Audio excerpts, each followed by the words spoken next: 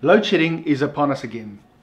And with load shedding, everyone is now talking about a possible grid collapse again. And the higher the stages become, the more people start talking about grid collapse.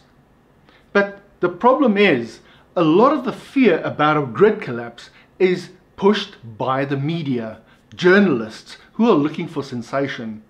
If you go look at the real technicalities behind the entire system, and believe me, I have done a lot of reading because I am a concerned citizen, as many others. I actually went and read about how the power system works and how much power generation is controlled by Eskom, which is actually only 80% in South Africa, which is controlled by Eskom, with 20% being controlled by the private sector. A lot of people don't even know that we have private uh, power generation in South Africa. And a lot of these power, private power generation systems are very well maintained. Now, we have a national command center which controls load shedding.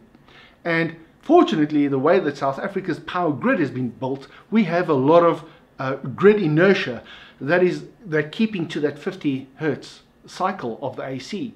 Now, if you don't know what grid inertia is, it's one of those things that you will have to go and read up. This prevents our entire system from collapsing, the grid collapsing. The National Command Center has multiple redundancy systems which monitor the power and they have uh, uh, limits that they have set to prevent grid collapse. And all that will happen is stages will be pushed up, pushed up, pushed up. And eventually you may even get entire provinces that go without power. But the entire grid collapsing, I see it as highly unlikely.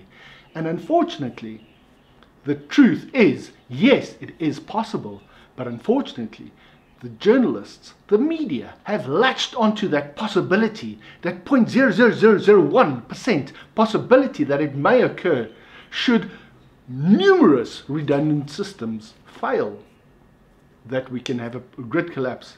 Guys, don't always trust the media. Go read for yourself. A grid collapse, in my opinion, highly unlikely.